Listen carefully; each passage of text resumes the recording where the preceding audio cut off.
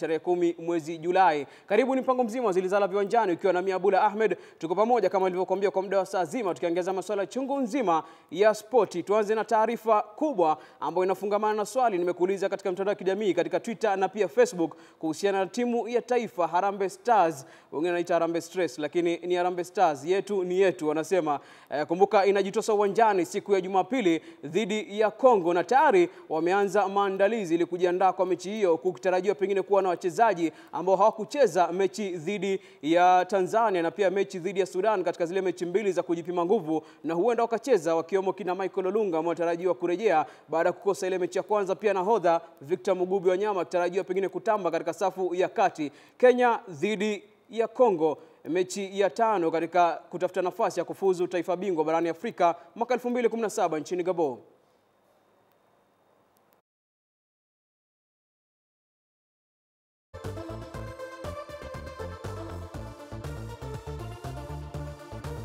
Na mtazamaji, kumbuka si Kenya pekee ambayo inacheza uh, hii weekend hii, maanake kuanzia leo kuna michuano itachezwa, pia kesho siku ya Jumamosi. Kuna mechi zitachezwa, na pia siku ya Jumapili eh, mojawapo ikiwa ni mechi ya Kenya dhidi ya Kongo kundi E kutafuta nafasi ya kufuzu kwa taifa bingwa barani Afrika. Hebu tutazame mechi nyingine ambazo zitagaragazwa hii leo, kesho na pia kesho kutwa. Mechi ya Jumapili eh, ndio mechi ya Kenya dhidi ya Kongo. Ameanza na mechi ya Jumapili, lakini pia kuna mechi ya Ijumaa na pia mechi za Jumamosi. Ni mechi kubwa ambao Wakenya wanaisubiri, pengine huenda si nafasi ya kufuzu, manake Kenya tayari haiwezi fuzu kwa michuano ya taifa bingwa barani Afrika. Michuano ya Jumamosi, Botswana dhidi ya Uganda. Kumbuka Uganda ndio timu pekee pengine kutoka Afrika Mashariki ambao huenda ikatuwakilisha katika michuano ya taifa bingwa barani Afrika, alafu Tanzania dhidi ya Misri. Kumbuka Tanzania wako katika kundi lao uh, na Misri, kundi ambalo liko Tanzania, Misri na pia Nigeria ambao hawatafuzu baada ya kuandikisha matokeo mabaya. Uh, na pia Chad ambao kumbuka Chad walijiondoa baada ya kusema kuwa hawana hela ambazo zitasaidia kuendelea michuano hiyo. Kwa hivyo Tanzania wanahitaji ushindi, wako na alama moja, lakini wanahitaji ushindi dhidi ya Misri na mechi ya mwisho pia ili waweze kufuzu pengine kuingia. Itakuwa ni kibarua kigumu sana, hasa ikizingatiwa kuwa Misri tayari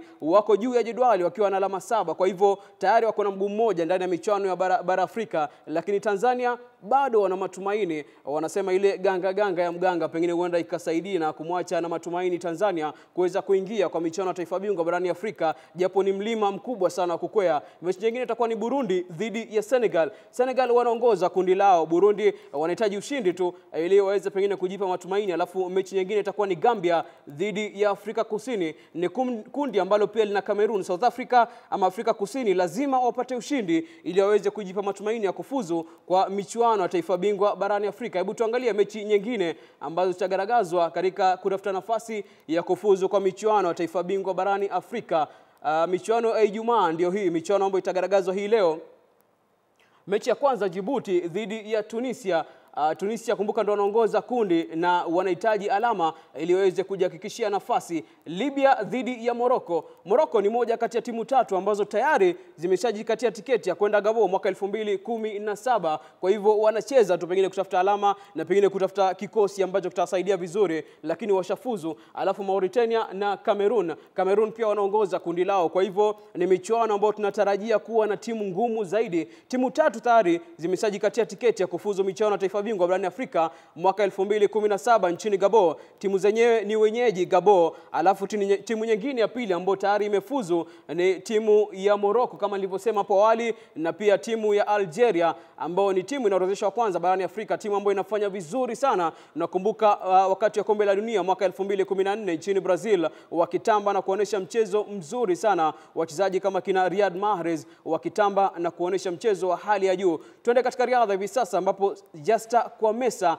alimakinika na kutoa ushindi. Kumbuka kuna mashindano ambayo yanaendelea ya watu ama wale wanariadha wasio na uwezo wa kusikia. Alishinda kwenye mbio za mita elfu kumi na pia kwenye mbio za mchujo za wanariadha wasio na uwezo wa kusikia. Ushindi huo umemzolea tiketi ya kushiriki katika awamu ya tatu ya mashindano ya dunia yatakayoandaliwa nchini Bulgaria. Kwa Mesa alitoa ushindi baada ya dakika 41 sekunde 10.01 mbele ya Masi Payai aliyemaliza wa pili dakika 42 sekunde 10.8. Sara Wairimu naye akamaliza katika nafasi ya tatu. Katika fainali ya mbio za mita 800 upande wa wanaume, Kevin Wathika alichukua ushindi baada ya dakika moja sekunde 54.5 huku John Koech akimaliza katika nafasi ya pili kwa muda wa dakika moja sekunde 54.6. David Wamira naye akawa mshindi wa fainali za mita 200 huku akimbia kwa sekunde 21.93. Mashindano ya dunia yataandaliwa kati ya tarehe 25 Juni na tarehe 7 mwezi Julai mwaka huu.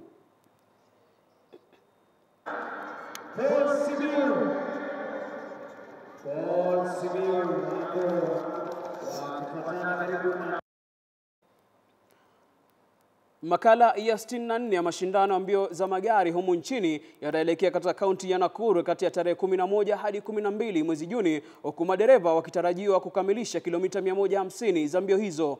Mshindi mara sita wa mbio hizo Carl Tundo anatarajiwa kutetea ushindi wake nyumbani mwaka jana dhidi ya Ian Duncan na bingwa mtetezi Jasprit Chate. Katika kitengo cha 2WD, Eric Benik, Leonard Varase na Sami Nyori watakuwa wakiwania ushindi wa mkondo huo huku kila mmoja akisaka alama muhimu.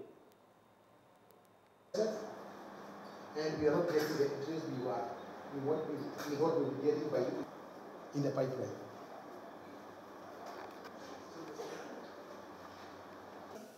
Uh, we are sponsoring more. We are putting in at least 45 million towards uh, the rally to, en- to ensure a great experience for everyone. So to now we had 43 entries as of today. Paid for, we have few guys who have not paid, so we are not counting them yet. So we expect to get about 50 cars by end of tomorrow.